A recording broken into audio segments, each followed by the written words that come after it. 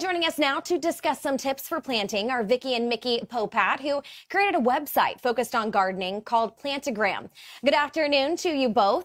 How has this? Hey, good afternoon, good afternoon Kendall. How are you? Doing wonderful. So glad to have you on Fox Weather this afternoon. I want to ask, how is this weather this past winter? We know it was very unusual for so many folks across the U.S. How has that really factored into planting this spring?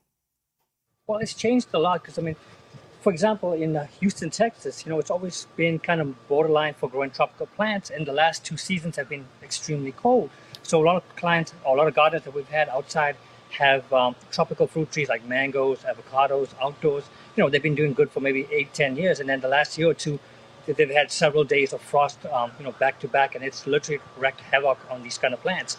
So um, what we what we've been noticing is a lot of clients, a lot of gardeners are going to what they call dwarf semi or semi-dwarf grafted plants, such as this um, uh, Kesar mango. Kesar mango. You've got the super Hass avocado. Their container growing is, and they're still able to get a lot of fresh fruits, full-size fruits, in one to two years. And what's nice about these plants, they're actually a hedge against the cold weather. So, um, you know, they can spend most of the year outside on a patio or outdoors. And then, in, in case you do get a couple of nights of frost, you can always move them indoors. You can always move them into a patio, or even if you have a garage or if you know if, if you, don't, if you don't have any other space, you can move them indoors near a south-facing window. So they're very and versatile. they do absolutely amazing. So that's definitely a good um, good way to hedge against the cold winters, especially if you're in an area like Houston, Texas, which is kind of borderline for a lot of tropical fruit trees. So um, and they, the nice thing about them too is that they can also be grown in colder areas. For example, like New York City, um, Chicago, some places where People, they do very well. We have yeah. a lot of our gardeners that are on the northeast part of the country,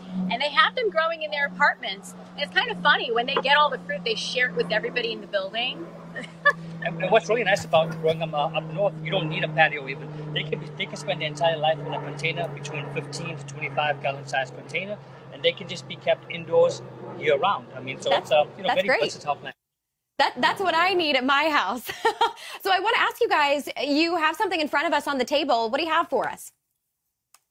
So I know everybody's gardening. I know this is the time for everyone to be outside and start putting their seeds in the ground and getting it ready to go.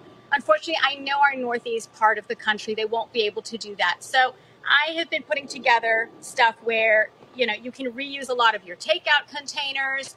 You can use any kind of Tupperware. You just need some newspaper on hand. You want to create a greenhouse effect and you want to start your seeds in a moist uh, paper towel or in your, uh, what's it called here? You can put them in the Tupperware. And then after a couple weeks, you get a beautiful, I don't know if you can see that. Yes. It's a beautiful seed that's already sprouted and you can pop that directly in the dirt Yes. So, when it's time. So, so for the, the gardeners in the Northeast, instead of starting the garden outside. You want to do it indoors. You definitely are so, going to want to. So you don't want to miss out on spring. You won't miss yes. out. Yeah, you won't miss out. You get a little bit of extra time. You grow them inside, let them germinate, and by the time in about a month or so, when it warms up, they'll be ready to go right outdoors. So right that makes it a little easier for them. I love that. So just kind of repurposing some items that you have just already lying around Absolutely. at your house to get a head start. Yes. So by Absolutely by the time you start warming up, you can eh, head the or move those plants outdoors. Well, those are wonderful yes. tips. Vicky and Mickey Popat from PlantOGram. We really appreciate you joining us today on Fox Weather.